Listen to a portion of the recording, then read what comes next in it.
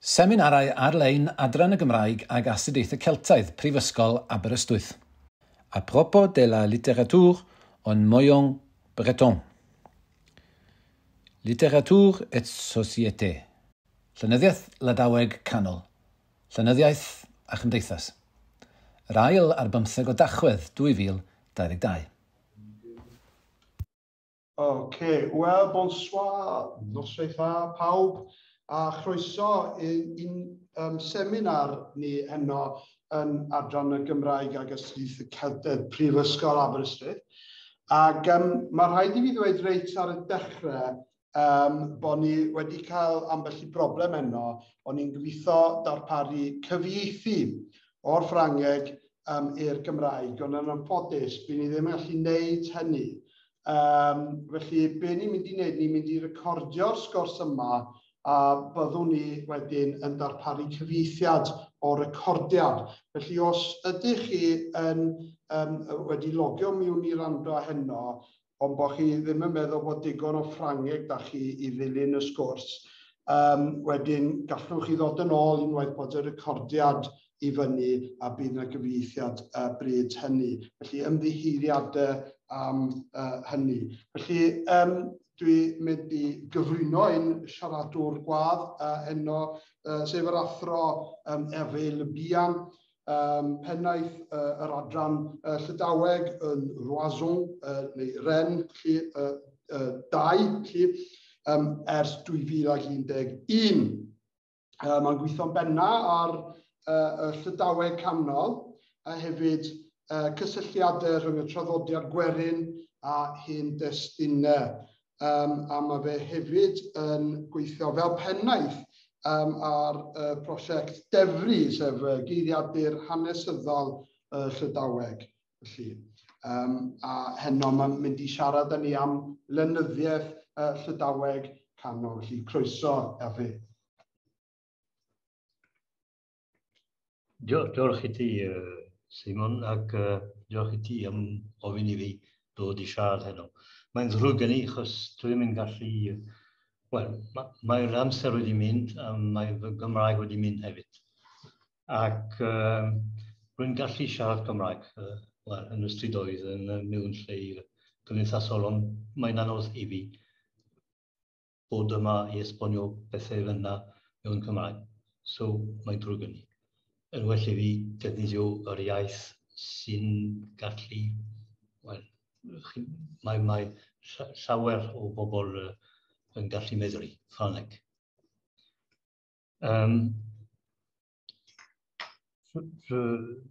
le titre que j'ai mis donc à mon intervention est euh, euh, à propos de la littérature en moyen breton. C'est surtout pour euh, donner un aperçu de ce que est cette littérature et aussi de montrer que c'est une littérature qui est en qui est dans son, euh, dans son temps, qui est dans sa société. Donc, j'ai intitulé également à ce titre Littérature et société. Il me semblait important de lier les deux. En préambule, je vais dire qu'on a trop souvent euh, étudié la, la, littérature en moyen breton comme un corpus de textes, un corpus de mots, et qu'on a très peu essayé de voir dans quel monde, dans quelle société cette littérature pouvait s'insérer. On a souvent aussi dit que c'était une littérature qui n'était que religieuse, de dévotion. Et je vais vous montrer ce soir que c'est vrai et c'est faux en même temps. Et qu'on a donc une littérature beaucoup plus complexe qu'on ne veut le dire. Euh, je donnerai des conclusions tout à l'heure, mais c'est également une littérature qui est ouverte sur le monde.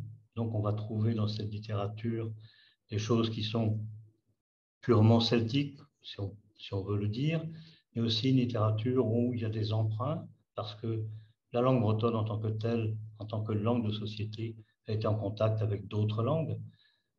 Euh, aujourd'hui, elle est en contact avec le français, mais elle est en contact avec d'autres langues par le passé. Euh, je vais aussi euh, vous parler de, de faits qui me semblent aussi importants. Je ne suis pas le premier à en parler. Et je voudrais ici parler de, comment je, je le citerai tout à l'heure, c'est d'Oliver Paddle, qui a bien montré qu'il y avait euh, une relation entre la littérature en moyen breton et la littérature en moyen cornique. à la fois sur la langue, à la fois sur le corpus. Et ce sont des choses sur lesquelles il faut insister. Parce qu'on a euh, devant nous, un corpus qui est à la fois euh, comment, séparé géographiquement, séparé par le temps, et qui malgré tout a énormément de points communs. Alors, par rapport à la littérature galloise, il y a des points communs également, mais ce ne sont pas les mêmes. Ils sont peut-être moins forts qu'on ne pourrait le croire, mais ils sont tout de même assez importants. Voilà. Donc, alors, le, le, mon intervention, alors je ne sais pas, est-ce qu'on peut enlever ça là Got it, got it? Ok. Ok. George.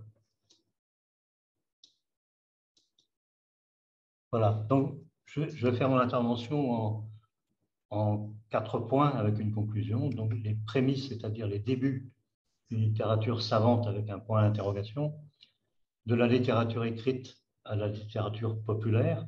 Et quand je dis populaire, c'est à partir du moment où on a pu commencer à la recueillir, jusqu'à maintenant d'ailleurs. Ensuite, le deuxième point, littérature dans son monde et dans son temps. Ensuite, le troisième point, quelle culture, ce que j'avais commencé à vous dire tout à l'heure.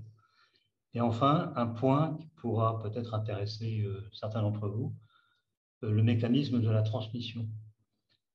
Euh, je, je, pense, vous allez le voir, pour, vous allez comprendre pourquoi, parce qu'il y a un problème à la fois littéraire, historique et technique quand on parle de la rime interne J'aurai l'occasion d'en parler tout à l'heure, qui est un, système qu'on connaît également en gallois. On connaît le système de transmission en gallois, mais en breton, on ne le connaît pas. donc, j'ai émis un certain nombre d'hypothèses pour en parler, et puis donc euh, une, une, conclusion sur ce, sur ce sujet. Voilà.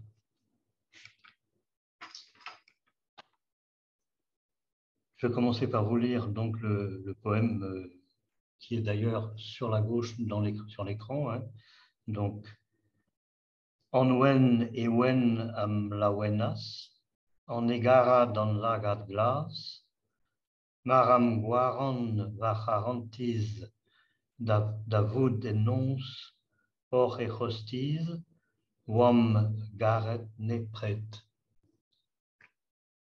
Alors, ces vers sont attribués à un certain Yvonne Domnes, un étudiant breton qui recopiait un exemplaire du Speculum Historiale de Vincent de Beauvais vers 1350. Nous sommes donc au XIVe siècle. Sont sans doute le premier acte littéraire breton connu. Le thème n'est pas religieux, bien au contraire.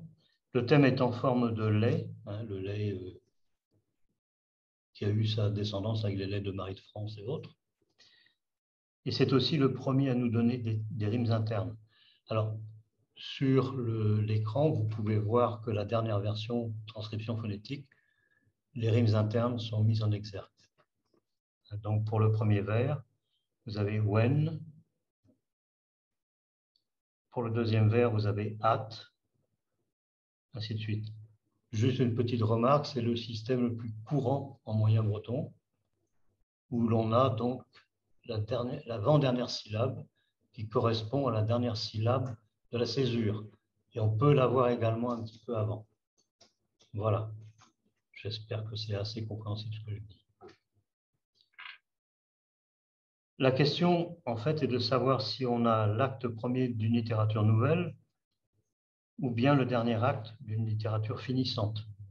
Les choses sont sans doute plus subtiles. Nous avons en réalité affaire à un écrit plus ancien de langue que celle de celui qui l'a recopié. La forme, la langue et surtout sa manière d'être produit. ce texte court, copié de manière maladroite et incomplet, est directement lié à l'ancienne société, celle que l'on avait en Irlande ou en Galles, au Pays de Galles donc, et sans doute en Cornwall. Il y a de nombreux éléments qui confortent l'idée d'une société celtique en Bretagne qui s'est maintenue par endroits jusque vers la première moitié du XVIIe siècle. Je ne développe pas, mais s'il y a des questions par la suite, je pourrais en parler. On remarque bien sûr que ce texte soit un texte isolé, un apax, tandis qu'une autre littérature, influencée par la dévotion, la religion apparaît peu de temps après, mais également influencée par la culture classique, les traditions populaires et les anciennes croyances des Bretons. J'y faisais allusion tout à l'heure. Donc on se retrouve avec euh, tous ces éléments-là. Une littérature pleine de paradoxes. C'est aussi une littérature témoin de la circularité entre culture savante et culture orale. Mais est-ce qu'il est pertinent de les différencier? Aujourd'hui, on le fait. Mais est-ce qu'il est pertinent de le faire dans cette époque? Selon que le veuille pointer un élément plus qu'un autre, on insistera sur le côté religieux, sur le côté classique, etc. Ou encore sur l'influence de la civilisation française et de sa langue. La littérature bretonne de ces siècles n'est pas isolée, au contraire. la langue française et la France étaient en contact direct. Il est tout à fait normal qu'il y ait eu des influences. On peut appeler ça des emprunts, mais on verra que ce ne sont pas forcément des emprunts. J'ai donc insisté sur le fait que ces quelques vers soient isolés, ceux de Yvonne Omnes. Cette amorce littéraire opérée par, eux n'a pas laissé de traces vivantes. Cependant, ces mêmes vers ont des descendants qui ne peuvent remonter qu'à la même source. Ils sont attestés dans la tradition chantée recueillie par Ersard de la Ville Marquée dans la première partie du XIXe siècle. Ersard de la Ville Marquée qui est très contesté par certains. Or, euh, si on ne fait pas d'études euh, internes de ce qu'il a récolté, on ne peut pas se rendre compte de tout ça. Ça, c'est important de le dire. Un exemple de plus de cette circularité écrit-orale.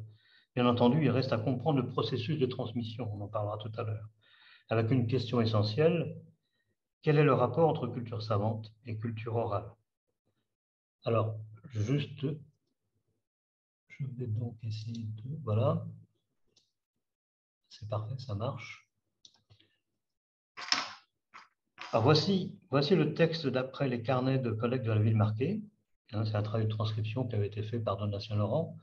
Et on a un texte de chanson qui reprend presque en vocabulaire, en thème et en forme les vers qu'on a vus, de, les quelques vers d'Yvonne Domnes. Et c'est ça qui est vraiment intéressant. Hein. Vestrez me mignonne, alors, c'est du breton du sud, je tiens à le préciser. Hein.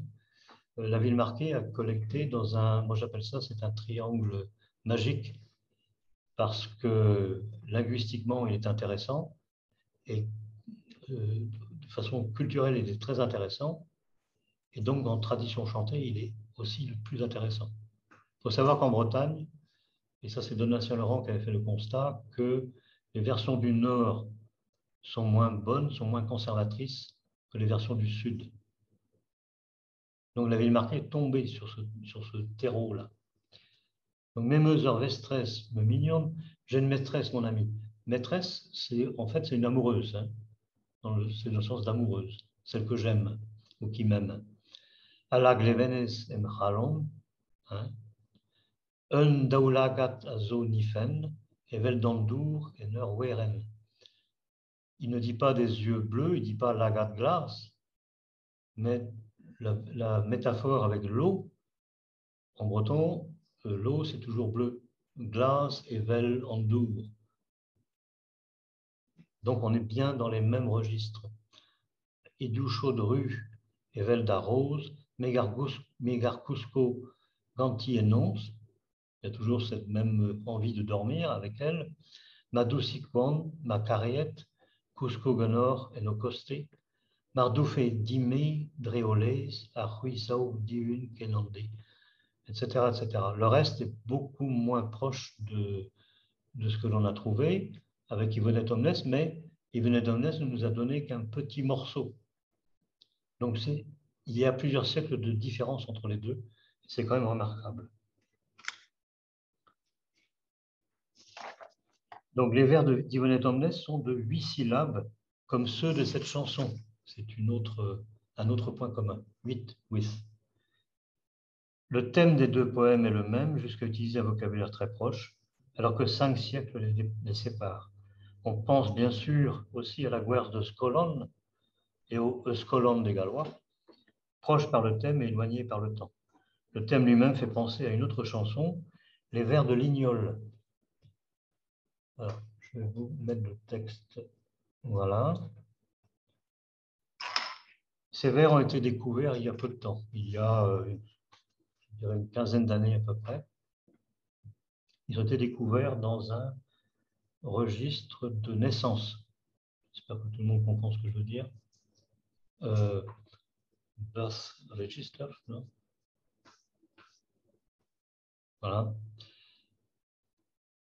Et euh, le texte dit donc à, à Sehet Ameus, à Sehet Adadin, j'ai soif, la soif me vient, Néon Unizim, Néon Ema Men Ema Andur Agarai Vadin, je ne sais pas où est l'eau qui me fera du bien, qui étanchera ma soif, l'eau de la fontaine, de la, du, du, petit réservoir à Rafé, qui me ferait du bien, si c'était celle que j'aime qui venait me l'apporter.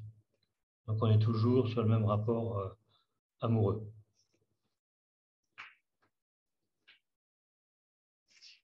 Ces vers-là sont du début du XVIIe siècle. Et ces vers sont encore chantés dans le pays vantais sous des formes euh, plus ou moins proches. Donc là encore, on a un texte qui apparaît tout d'un coup au début du XVIIe et un texte qui est, qui a toujours, euh, qui est toujours vivant puisqu'il est toujours chanté euh, dans le même, sur le même terroir. Un peu plus tôt dans le temps, on trouve une chanson populaire insérée dans la vie de Sainte-Barbe. Là, on revient au, au XVIe siècle. Donc là, on est à 1600, 1557.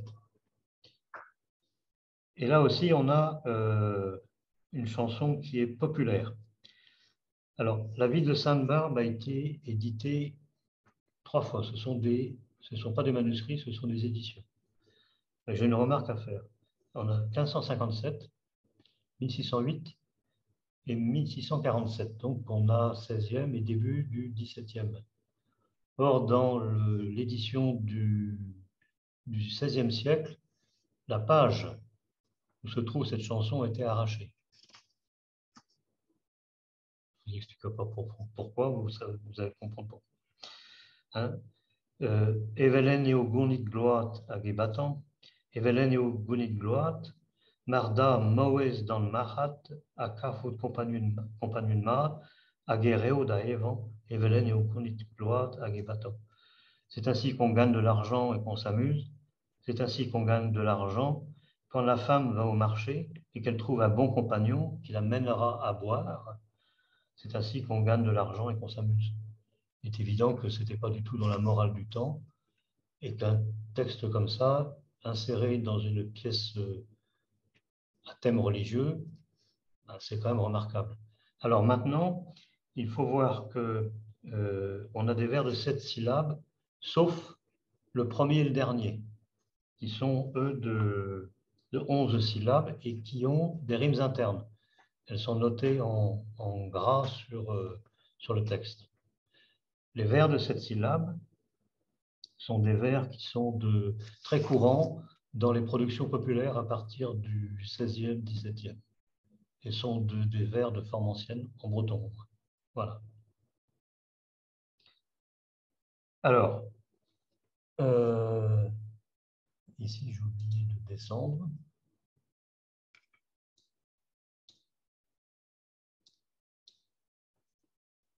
Voilà. Voilà. Alors, le deuxième point, une littérature dans son monde et dans son temps. Hein. Euh, ainsi, le but de ces quelques lignes n'est pas de rechercher une réponse à tout, ce serait un autre travail. Il ne s'agit pas non plus de recenser tout ce qui est en rimes internes ou pas. Il ne s'agit pas non plus de replacer cette littérature en Bretagne, dans la société qui la produit, encore dans ses rapports avec la littérature française qui lui est contemporaine. Non, il faut examiner de plus près le contexte historique, socio-économique, linguistique, et ce à compter des périodes plus anciennes pour obtenir un regard général sur une littérature ouverte qui se situe des deux côtés de la Manche, tout autant que sur son ouverture vers l'Est, vers l'Est, c'est-à-dire vers la France. On a trop tendance à regarder cette littérature comme étant une littérature sur une ligne ouest-est, alors qu'il y a également une ligne nord-sud. Et le nord-sud, c'est là qu'intervient justement le, Cornwall. Alors, il ne s'agit pas d'aller jusqu'au Pays de Galles, c'est trop loin, je suis désolé. Il suffit de s'arrêter au Cornwall. Alors, en Cornwall comme en Bretagne, on ne trouve pas de nombreux manuscrits restituant les poèmes attribués à, à Neirin ou à Taliesin, même si en Bretagne, on a des manuscrits latins qui font des pas des allusions, mais qui en parlent. Et ça, c'est autre chose. C'est une autre littérature, on est sur un autre registre. Alors que ni même, ni même encore une, saga semblable à celle de Shebachet. Il y a bien des traces tangibles de cette littérature, mais elle est plutôt passée par le médium du latin médiéval, ce qui n'est donc pas négligeable. Mais en Cornwall, euh, comme en Bretagne, une autre littérature avait le jour au tournant des 14e, 15e et 16e siècles, alors que les deux langues étaient bien séparées depuis le 12e siècle. C'est-à-dire qu'au 12e siècle, euh, la Manche n'est plus un boulevard, elle devient plutôt une frontière. Voilà. Le Cornwall, il est euh, capté par euh, l'Angleterre et les Bretons ont tourné leur regard vers l'Est. Voilà. la dynastie euh, qui va s'installer en Bretagne est une dynastie qui vient de l'Ouest. Elle est britophone. Elle vient justement de cette société celtique au départ, mais elle va très rapidement se fondre dans un moule qui va imiter les cours que l'on trouve euh, un peu partout en Europe. Donc, il va y avoir une espèce d'assimilation, mais à l'interne. Voilà. Euh, alors que les deux langues étaient bien séparées, donc deux dialectes de la lingua britannica devenus deux langues à part entière. Peu de scientifiques ont mis en lumière les rapports évidents qu'il y a entre la littérature en moyen breton et la littérature en moyen cornique. Et c'est là que je fais référence aux travaux d'Oliver Padel, qui était, à mon avis, à mon sens, qui était le premier à bien remarquer tout ça. On peut comparer les deux corpus. On les compare et puis on peut euh, justement euh, voir de quelle typologie relèvent les différentes productions des deux corpus. Alors, le, le corpus moyen cornique donne une résurrection. Alors, 1450. Première remarque, déjà, les productions corniques sont plus anciennes que les productions bretonnes connues. Mais on a affaire à des, manuscrits, l'imprimerie arrivant un tout petit peu après. On a une passion, euh, une résurrection, une passion, on en a aussi en breton. Les origines du monde, ça, on n'a pas en breton, si, mais beaucoup plus tard. On n'a pas à cette époque-là la passion euh, du Seigneur, mais ça c'est un, texte aussi qui rejoint la passion. C'est un poème. Et là aussi, ça devient intéressant. On a euh, la vie de Meriadec, la vie de Kay, qui a été euh, découverte récemment et éditée récemment, et la création du monde. Alors, chez nous, on n'a pas ces mêmes saints, mais on en a aussi. donc, je vais regarder, on va examiner le, le, corpus breton, si vous voulez. Voilà. Euh, le corpus du moyen breton, on a dans un même ouvrage, hein, qui date donc euh, première édition de 1530, donc c'est postérieur aux productions corniques, on a la Passion, la Résurrection et trois poèmes. Ensuite, on a la vie de Sainte Barbe, dont on a parlé tout de suite. Les deux premiers sont des imprimés. On a la vie de Sainte Nonne qui est un manuscrit. Manuscrit qui est. Euh, alors, vers 1480, c'est la langue. Hein, le manuscrit probablement un petit peu plus euh, récent. La vie de Saint Gonolé de 1580, qui a été recopiée au XVIIIe siècle. Là, on arrive avec Nonne et Gonolé, on arrive à des saints locaux, comme on a Mériadec ou Kay en Cornouailles. Dissement de Jérusalem, la destruction de Jérusalem, qui est une ancienne pièce de théâtre. On n'en a que des extraits, malheureusement. Euh, voilà. Ensuite, on a un très long poème qui s'intitule Le miroir de la mort. C'est intéressant parce qu'on a le nom de l'auteur et on a la date de finition du, texte. Et, on donc, il a été terminé en 1519 et imprimé en 1575. C'est très rare pour nous d'avoir à la fois tous ces éléments sur un même texte. Bien souvent, on n'a rien. On a éventuellement le nom de, quand c'est imprimé, le nom de, l'imprimeur ou du libraire qui vend. C'est rare qu'on ait autre chose.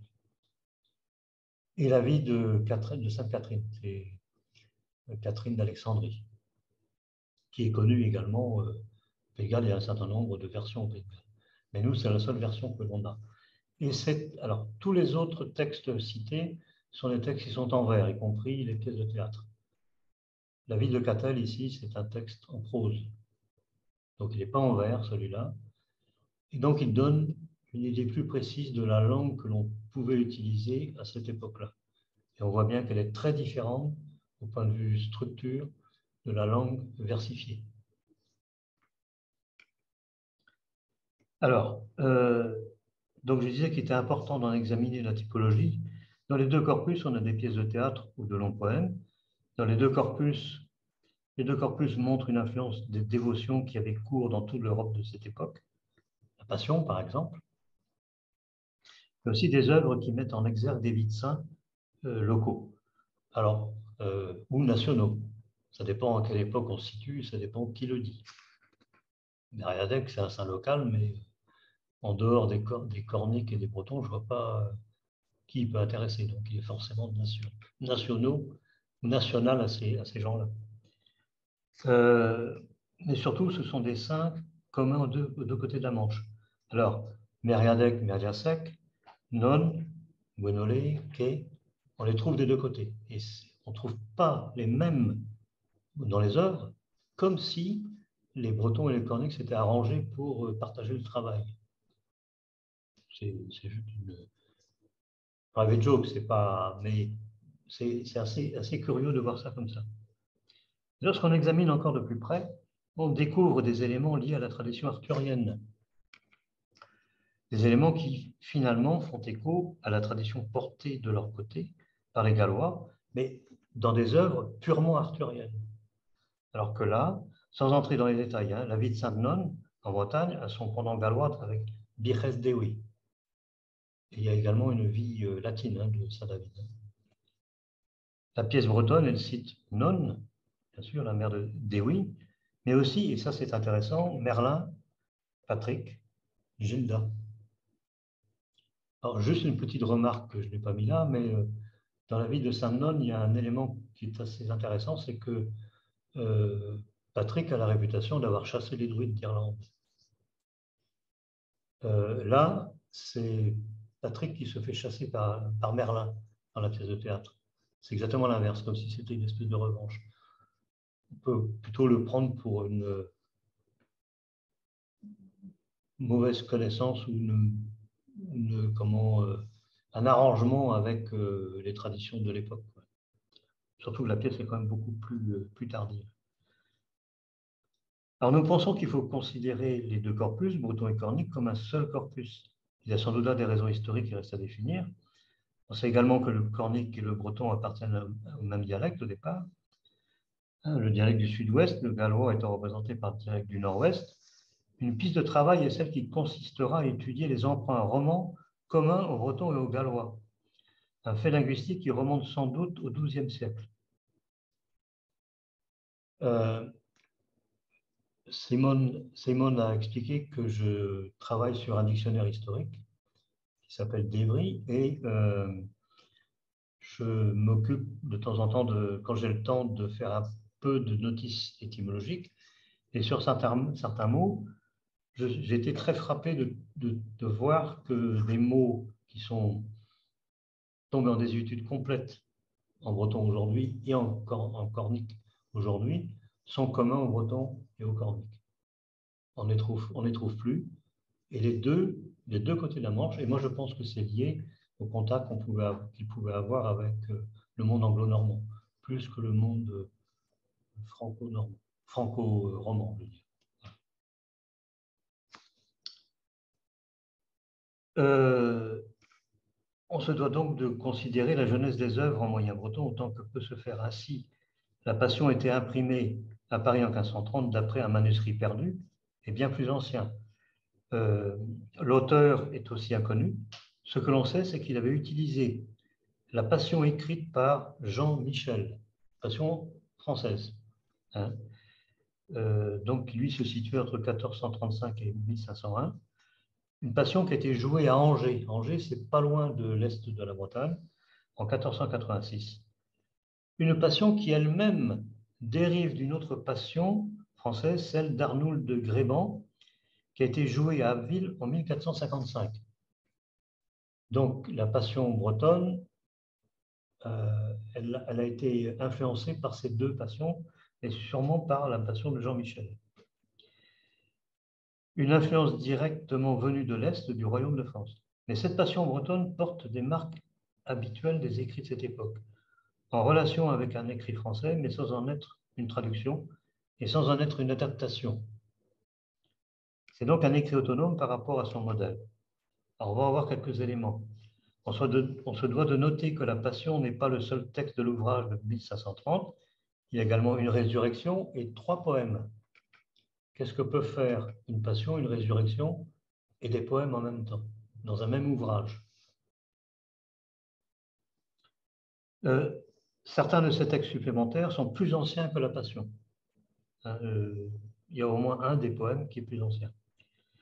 Une analyse linguistique fine permet de le démontrer. Cet ensemble montre en réalité ce que l'on nomme un livre d'heures. Euh, donc on a affaire à des textes de deux pièces de théâtre et des poèmes. En fait, ce qu'on prend pour des pièces de théâtre, je pourrais donner plus de détails après, n'était pas fait pour être joué, mais pour être lu.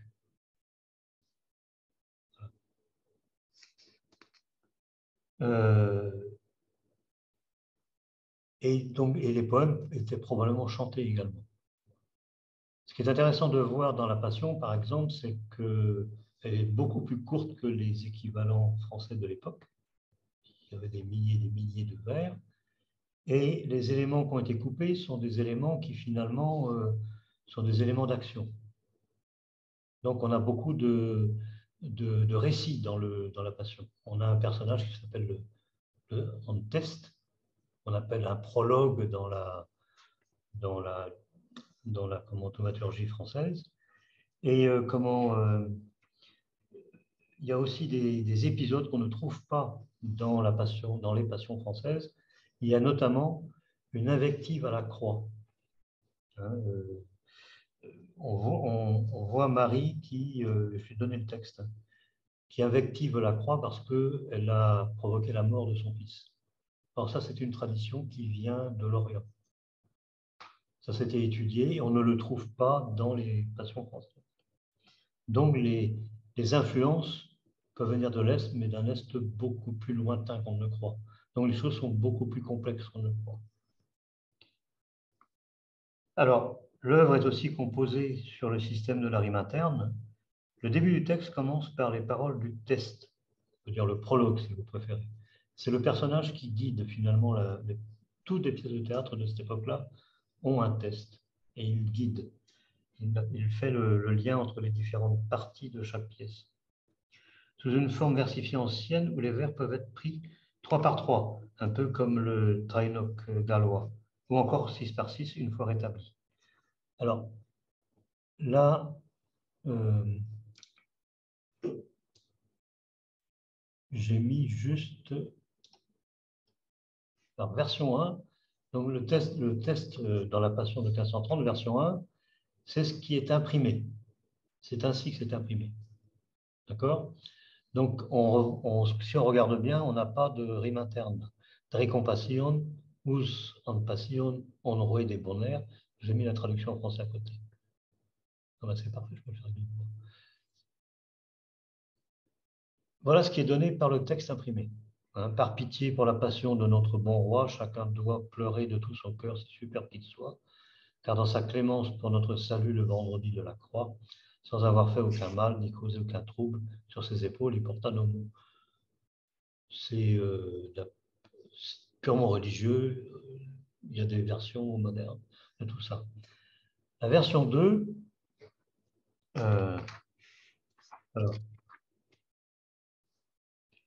la version 2, voilà ici, il y a une version 3, voilà, c'est pour ça. On peut, on peut les mettre, euh, les, les, grouper ainsi, c'est-à-dire qu'on groupe 2 plus 1 à chaque fois. Dre compassion us en passion, on roi des bonheurs, este pepini guelan adevri, nageo marfier. Et puis, on peut regrouper encore beaucoup plus. C'est ce qui avait été proposé par euh, Émile Ernotte et puis Joseph Lott, qui ont été des grands savants fin 19e, début du 20e. Et là, on peut noter à ce moment-là les rimes internes. Donc, Dre, Dre compassion en on des bons airs. La rime est en on ici. Ensuite, on a une rime en i. Hein, on a pep eni, avevri, nageomar fier. Et du même coup, on sait qu'on ne pouvait pas prononcer fier, mais fier. La rime interne est un outil extraordinaire pour les linguistes parce que elle permet d'avoir une idée assez précise de la prononciation de l'époque. Et la rime interne nous permet aussi, et là je n'ai pas mis d'exemple, mais nous permet de voir là où il y a des, euh, des erreurs finalement d'impression ou autre. À un moment donné, vous verrez, il y a des vers que deux vers que j'ai rétablis. Il y a tous les mots, mais pas dans le bon ordre. Et quand on les met dans le bon ordre, on récupère les rimes. Euh, la, alors, Émile Arnaud a fait remarquer que toutes les interventions du texte tout au long du texte, donc dans la Passion, portent souvent une rime en as, tout en insistant sur le niveau élevé du système de versification. Donc, euh, le système.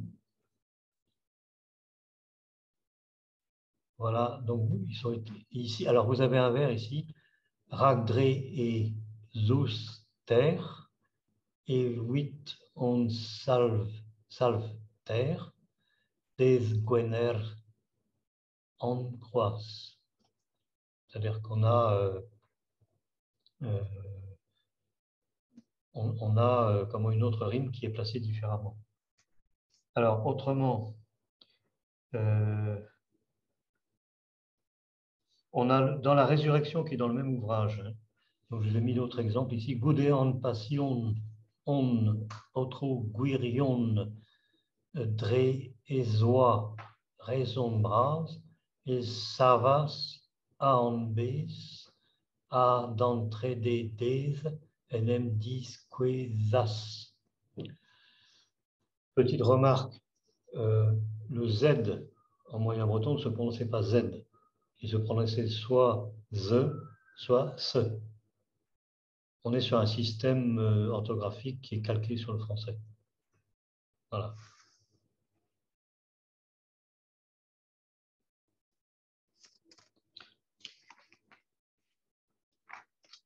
Dans, dans, la vie de Sainte-Barbe, toujours le même, le même personnage de test. Hein.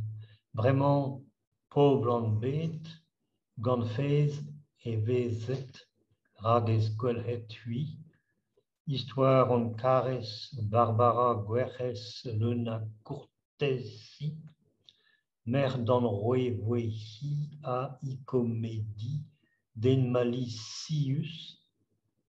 Lena disenor aguer ageror roe dioscorus. Les rimes sont en gras, normalement vous devez les voir sur l'écran. En ce qui concerne les paroles de test dans les trois textes, il n'est pas certain qu'il faille les rendre comme des vers longs. Ils étaient scandés, peut-être chantés, et le rythme mettait son importance sur les derniers vers, à chaque fois le troisième vers principal.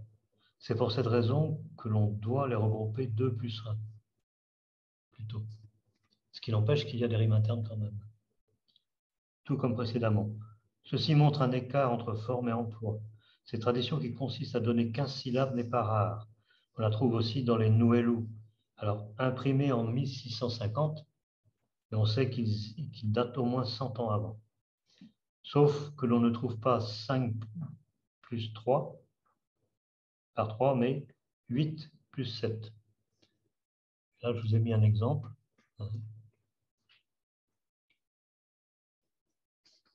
Les, les slash montrent euh, justement la césure par rapport à la, façon dont ça a été imprimé. Donc les vers ont été rétablis. Donc, Kenom Nouel Daroué en Eles, Ganfez à Caranthèse pure. Petite remarque, le mot face que l'on voit au premier vers ne pouvait pas se prononcer comme ça à cause de la rime interne. C'était l'autre variante, fez, que l'on entendait. Ce qui veut dire que face a été rectifié par celui qui a édité en 1650. Voilà. Euh, dans ce cas, les vers sont de 8 plus 7, bien plus que de 15 syllabes. Quoi qu'il en soit, le changement de statut donné au texte a conditionné la, manière de présenter le système de versification utilisé. Dans la Passion et autres écrits, le test, le témoin, le prologue, etc., est utilisé pour donner du rythme et de la force pour impliquer les auditeurs, puisqu'il s'agit sans doute de textes à écouter plus qu'à jouer. Mais toujours en ce qui concerne la Passion, nous avons la quasi certitude que les différentes pièces ont, de, ont, ont plusieurs auteurs différents et les vers du test n'y échappent pas. Ça, c'est un autre problème. On, a, on peut avoir plusieurs auteurs sur un même texte. Alors, l'extrait suivant, justement celui dont je vous parlais, est tiré de la Passion de 1530. Il s'agit d'un passage célèbre, l'invective à la croix par Marie, la mère de Jésus. Élément qui a été étudié par Jacques Chaucheras. Il a montré que cette partie du texte a été inspirée par un texte latin du XIIIe siècle, Lamentatio Beate Marie, Mariae ad Crucem, d'après l'œuvre de Philippe de Grève, épisode que l'on ne trouve pas dans les versions françaises. Voilà. Alors, euh, la, traduction est à la fin. De toute façon, ce texte-là, euh, Simon, tu, pourras le diffuser, il n'y a aucun problème. Juste euh, les, deux premiers vers du deuxième couplet. Cortes ame guerres, ameus ss. Il n'y a pas de rime interne là, mais il faut les, sans changer de mots, sans en rajouter, en les remettant à leur place, on a guerres, ameus ss, ganet flur, anfrues cortes. On garde le même sens, on garde les mêmes mots, on les remet dans l'ordre, et là, on récupère des rimes internes. Puejes, SS. Flour, courtes.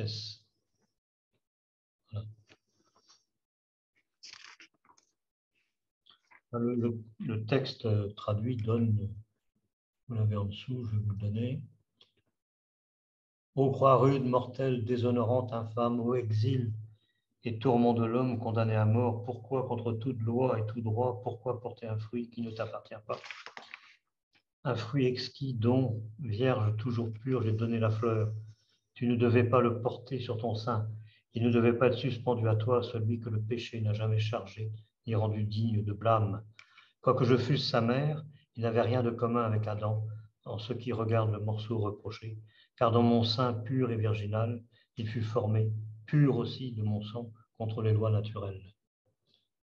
Je ne vais pas tout vous lire, mais euh, vous aurez l'occasion de le lire après. Mais c'est un texte qui est d'une rare euh, violence, dans un, d'une rare, on va dire, euh, irrévérence par rapport à un symbole, la croix, qui est quand même un des symboles de la chrétienté à cette époque-là. Alors la tradition, elle vient de l'Orient, hein, donc Philippe de, de Crève l'avait ramené de là-bas.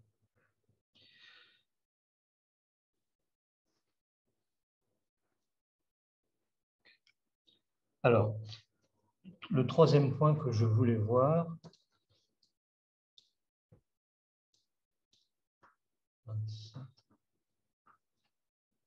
voilà, quelle culture? Quelle culture? Alors, euh, dans cette production d'influence religieuse, les marqueurs classiques ne sont pas rares. Alors, je parle de classique, j'espère que tout le monde va comprendre ce que je veux dire. Euh, quand on parle de classique, je parle des classiques grecs, latins. D'accord? Bien d'accord. Le fait de mentionner Hector dans les trois poèmes de, de, 1530, de 1530, par exemple, indique une culture de haut niveau. Les marqueurs d'une culture classique, on le trouve dans bien d'autres textes, comme la vie de Saint-Gonolé qui cite Hector, Hélène de Troie, mais aussi la ville de Troie, Hercule, Samson, Alexandre. On est loin de la culture populaire là. Nous avons un poème officiel de 1536. J'aurais pu vous le donner également. Euh, officiel parce que le breton vient avant le français. Et c'est un poème qui avait été euh, utilisé pour le couronnement du dernier duc de Bretagne, qui était euh, donc le fils François Ier, en fait, et qui est mort jeune. Qui donne nombre de ces noms sous l'influence du troyanisme ambiant, une tradition qui remonte aux origines des Bretons et à leur fréquentation des traditions classiques. Euh, on connaît, on connaît bien la, propension des Bretons, et quand je dis les Bretons, c'est tous, je parle des Gallois également, à, comment, à se familiariser avec l'œuvre de Virgile, par exemple. Euh, Virgile il est en, diagonale dans toutes les productions des, Bretons de l'époque. Jusque vers la première moitié du XVIIe siècle, les poètes bretons resteront fidèles au système de la rime interne. Rares, très rares sont les œuvres non versifiées sur ce schéma. Avant 1650, 1650, on a juste un Noël dans une œuvre euh, assez longue qui, qui euh, n'est pas encore publié, euh, on a un Noël de 1625. Or, produite par quelqu'un qui a une culture de très haut niveau, hein, qui avait traduit un, catéchisme de l'italien en breton. Mais rester fidèle à cette diversification ne disait pas rester prisonnier d'une forme traditionnelle. On a ainsi la production d'un sonnet par un certain Moéam en 1554, donc milieu du XVIe siècle le poème avait été étudié par Gonel Lemaine. C'est un sonnet qui a tous les éléments d'une production purement profane, là aussi. Dieu n'est pas invoqué, ni Marie, ni Jésus, ni directement, ni par métaphore. Par contre, les nymphes sont convoquées. Finalement, un poème assez banal au premier regard, mais Moéam y met tout de même quelque chose de particulier son système de rimes internes est différent de celui qu'on trouve d'ordinaire. C'est-à-dire que celui que je vous ai montré là n'apparaît pas comme tel dans celui du sonnet de, de. Euh, et il en utilise un qui est beaucoup plus complexe. La rime interne n'apparaît pas à l'avant-dernière syllabe, euh, la dernière place des vers. Ce système se retrouve parfois dans d'autres œuvres plus anciennes, comme parfois dans les trois poèmes ou encore dans la destruction de Jérusalem dont j'ai parlé, l'instruction de Jérusalem qui remonte probablement à la fin du XVe siècle. Des textes qui montrent nombre d'archaïsmes, ce qui pose la question de cette transmission. Alors, il s'agit d'un sonnet qui a été écrit dans des circonstances particulières. Le poème est en l'honneur de la naissance du futur roi de France, Henri IV, qui n'était pas catholique à l'époque. Il est devenu après. Il a fallu faire euh, pas mal de, pour qu'il devienne catholique. Le recueil où se trouve ce poème contient d'autres poèmes dans d'autres langues. En fait, ce, recueil-là est, directement relié à la tradition des joutes euh, poétiques qui se déroulaient à Toulouse, donc en Occitanie, à l'époque où euh, les traditions occitanes, étaient encore très florissantes et où ce système de sonnets était très important une volonté d'intégrer l'art poétique breton à la poétique contemporaine en, prenant en compte le vieux système de rimes, mais avec une forme nouvelle qui s'appelle le sonnet. C'est le premier sonnet qu'on a en breton. Hein. Je vais vous le donner, voilà.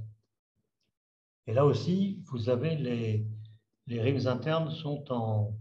Je vais mettre la traduction avec, tant qu'à faire. Les rimes internes sont en, gras. Hein panvoa ma manganet ol nymphenet envro.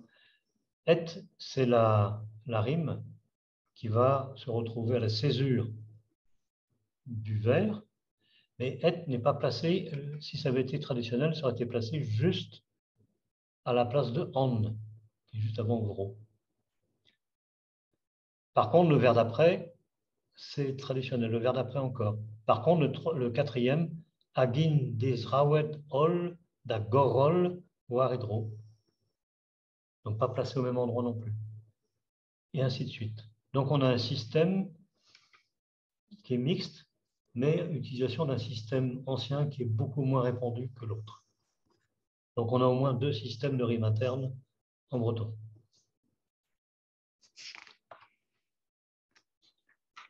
Alors c'est donc un poème entre nouveauté et tradition. C'est probablement le représentant véritable de la poésie bretonne de cette époque. Une littérature enracinée dans la culture européenne et gardant les vieux marqueurs celtiques. Comme une évidence, on peut dire que le système des rimes internes est l'identité même de cette littérature. Et donc tout le reste peut s'agréger. Cette forme, ce système de rimes internes, permettait aux poètes de ciseler, de former une langue magnifique, mais qui ne devait sans doute pas refléter la langue quotidienne des, des britophones du XVIe siècle. Pas forcément la langue de, tous les jours. Le texte de la Buécatel, donc de 1576, donne une langue assez différente, alors qu'il s'agit d'une langue contemporaine aux autres œuvres. Cependant, le peu de corpus en prose ne permet pas d'en tirer trop de conclusions. Nous avons d'autres témoignages à travers les écrits laissés ici et là par des étudiants bretons exilés à Paris, Orléans, Rome, etc. Alors, euh, des choses laissées à Paris, à Orléans, beaucoup ont été publiées, mais sur Rome, c'est encore inédit. On a des, annotations d'étudiants bretons sur des manuscrits qu'ils recopiaient ou sur des registres. on n'a pas beaucoup de traces écrites de cette époque-là, donc pour nous, c'est très précieux. N'ont pas tous été étudiés, il est probable qu'une étude d'ensemble pourra donner une image plus fidèle de la réalité linguistique de l'époque. On note cependant qu'une grande partie de cette langue et de ses marqueurs linguistiques sont toujours présents dans la langue des Guerziou. Les Guers, je ne sais pas si ça vous dit quelque chose, ce sont, on traduit ça en français par le mot complainte. Euh, une Guers a pour euh, départ euh, un fait, un fait historique, mais ça peut être très local, ça peut être un assassinat, ça peut être un, viol, malheureusement, ça peut être un, infanticide, etc. Et euh, sur un mode très particulier, justement. Par exemple, la plupart de leurs vers sont construits sur le schéma sujet plus objet plus forme verbale. La forme verbale étant toujours, toujours à la fin du vers. Ce schéma n'était pas rare en moyen breton. C'est pour ça qu'il y a un lien probablement entre cette langue du moyen breton et la langue des Gouers. On va remarquer que ces constructions de chants populaires sont absentes de la langue quotidienne, de la langue de ceux qui les chantent. Ceci montre bien la variété des niveaux de langue en breton. Alors, j'essaie un peu plus parce que je vois que je retourne. Voilà. Alors, le, dernier point que je voulais aborder avant la conclusion, c'est le, mécanisme de la, transmission.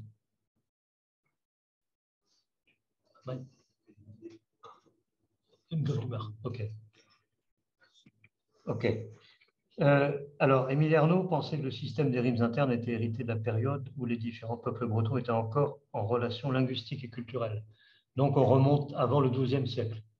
Il n'y a pas de preuve mais le phénomène sont trop étranges pour qu'on n'y pense pas.